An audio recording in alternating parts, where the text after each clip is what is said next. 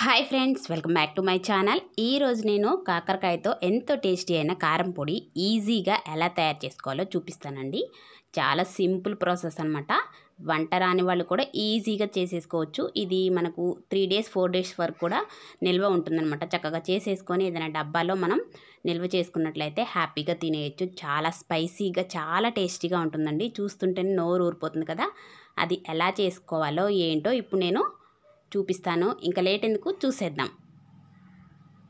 ముక్కల్ని ఈ విధంగా శుభ్రంగా నేను వాటర్లో కడిగేసానండి కాకరకాయలన్నీ కడిగేసిన తర్వాత ఇలా ముక్కలు అనేవి కట్ చేసుకున్నాను అనమాట రౌండ్గానే కట్ చేశాను. తర్వాత ఆయిల్ అనేది పెట్టుకొని డీప్ ఫ్రై చేసుకోవాలన్నమాట. ఆయిల్లో వీటిని మొత్తం కూడా వేసుకొని ఇవి బాగా ఫ్రై చేసుకోవాలండి. ఆ పచ్చి పచ్చిదనం అంతా పోయే వరకు మనం ఆయిల్లో చక్కగా ఫ్రై చేసుకోవాలన్నమాట. కట్ చేసిన ముక్కలన్నీ కూడా ఈ ఆయిల్లో వేసేస్తున్నాను నేను.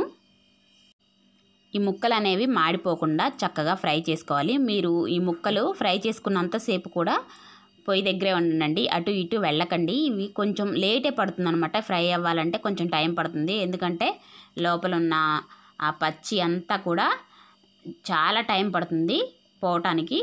మనం దగ్గరుండి వీటిని ఫ్రై చేసుకోవాల్సి ఉంటుందన్నమాట. ఇదిగోండి ఇలా ఫ్రై అయితే సరిపోతుందండి. బాగా నల్లగా ఏమి మాడవలసిన అవసరం లేదు. ఇలా ఫ్రై అయిపోతే సరిపోతుందనమాట. మొత్తం కూడా ఇప్పుడు తీసేస్తున్నాను. మొత్తం కూడా తీసేసానండి. ఇప్పుడు ఈ ఈ వేడి మనం నూనెలోనే పల్లీలు అనేవి కూడా ఫ్రై చేసుకోవాలన్నమాట. నేను పల్లీలు ఒక రెండు పిరికల వరకు ఫుల్గా తీసుకున్నానండి. ఎక్కువగానే తీసుకున్నాను అనమాట పల్లీలు వేసుకుంటే మనకు రైస్లో కలుపుకున్నప్పుడు అక్కడక్కడ తగులుతూ ఉంటే చాలా టేస్టీగా ఉంటాయి. పల్లీలను కూడా ఫ్రై చేసుకోవాలి. పల్లీలు కూడా ఫ్రై చేసి పక్కన పెట్టేశానండి. పల్లీలు ఫ్రై అయిన తర్వాత ఈ ఆయిల్లోనే మనం కరివేపాకును కూడా వేసుకొని వేయించుకోవాలన్నమాట. కరివేపాకును కూడా వేసుకుంటే చాలా బాగుంటుంది. నెక్స్ట్ వచ్చేసి కరివేపాకు తీసేసిన తర్వాత ఇందులోనే ధనియాలను కూడా సారీ అండి ఆయిల్లో వేయద్దు ధనియాలు. మనం ఇలా ఆయిల్ ఏమీ లేకుండానే ఫ్రై చేసుకోవాలన్నమాట. ధనియాలు తర్వాత వచ్చేసి కొంచెం జీలకర్రను కూడా యాడ్ చేసుకుంటున్నాను. ధనియాలు జీలకర్ర ఇవి రెండు కూడా మనం ఆ పచ్చి స్మెల్ అంతా పోయే వరకు కొంచెం ఫ్రై చేసుకుంటే సరిపోతుందన్నమాట.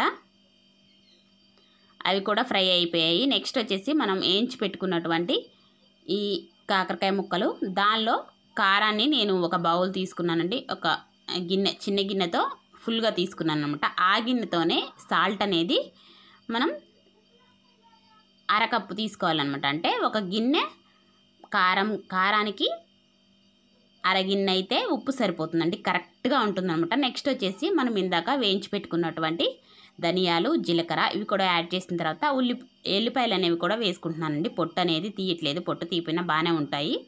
తర్వాత వచ్చేసి చింతపండు మెయిన్గా కావాలన్నమాట. చింతపండు కొంతమంది వేసుకోరు. చింతపండు వేసుకుంటే చాలా టేస్టీగా ఉంటుందండి కారప్పొల్లో. నేను చింతపండు కూడా యాడ్ చేసుకున్నాను. ఇవన్నీ వేసిన తర్వాత వీటిని ఇప్పుడు మిక్సీ అనేది పట్టుకోవాలన్నమాట. మెత్తగా మనం పొడిలాగా మిక్సీ పట్టేసుకోవాలి. ఇదిగోండి నేను మొత్తం కూడా మిక్సీ అనేది పట్టేశాను చూడండి ఎంత బాగుందో పొడి అనేది కారపొడి అనేది చాలా బాగా వచ్చింది కదా. ఇలా పొడి పొడిగా వచ్చిన తర్వాత దీనిలో మనం ఇందాక వేయించి పక్కన పెట్టుకున్నాం కదా కరివేపాకు పల్లీలు. వీటిని కూడా ఇందులో యాడ్ చేసుకొని కలిపేసుకోవటమే. చాలా ఈజీ అండి. ఇదిగోండి మనం వేయించి పెట్టుకున్నటువంటి కరివేపాకు.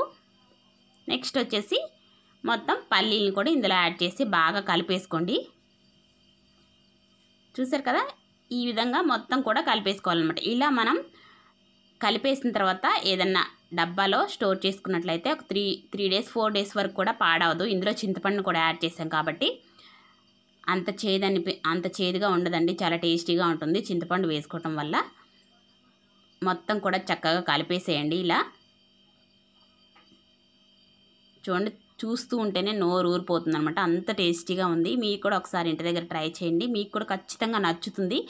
సో ఫ్రెండ్స్ ఇది ఈరోజు వీడియో. నచ్చిందా? నచ్చినట్లయితే లైక్ చేయండి షేర్ చేయండి. అదేవిధంగా నా ఛానల్ని కొత్తగా చూస్తూ ఉంటే ఎవరైనా సబ్స్క్రైబ్ చేసుకోండి. సబ్స్క్రైబ్ చేసుకోవడం తెలుసు కదండి. రెడ్ కలర్లో సబ్స్క్రైబ్ బటన్ కనిపిస్తూ ఉంటుంది. దాన్ని నొక్కండి. దాని పక్కనే బెల్ ఐకాన్ కనిపిస్తూ ఉంటుంది. దాన్ని కూడా నొక్కిన తర్వాత ఆల్ అని పైన వస్తూ ఉంటుంది. ఆల్ని కూడా క్లిక్ చేస్తే ఏంటంటే నేను చేసిన వీడియోస్ అన్నీ కూడా చూసేయచ్చు అనమాట ఆల్ అని నొక్కితే ఇంతకు ముందు చేసిన వీడియోస్ కూడా వస్తాయండి. అవి కూడా హ్యాపీగా చూసేయచ్చు. ఇప్పుడు వచ్చేసి నేను రైస్లో కలిపి చూపిస్తానండి. చూడండి. చాలా చాలా టేస్టీగా ఉంది. చాలా స్పైసీగా ఉంటుంది. ఇదిగోండి. చూసారు కదా? సో ఫ్రెండ్స్ ఈరోజు వీడియో అయితే ఇదనమాట నా నెక్స్ట్ వీడియోతో నేను మీ ముందుంటాను. అప్పటి వరకు కీప్ స్మైలింగ్. బాయ్.